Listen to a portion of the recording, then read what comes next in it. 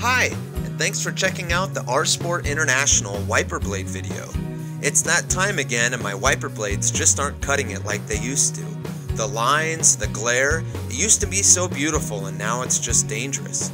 Gunk builds up on the blades over the summer as the rubber starts to lose its luster. Then came the Bosch Evolution wiper blades.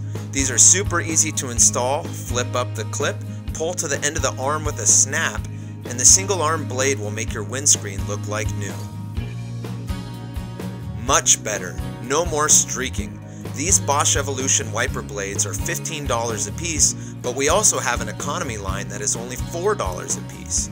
And if you're in the area, we will install them for free.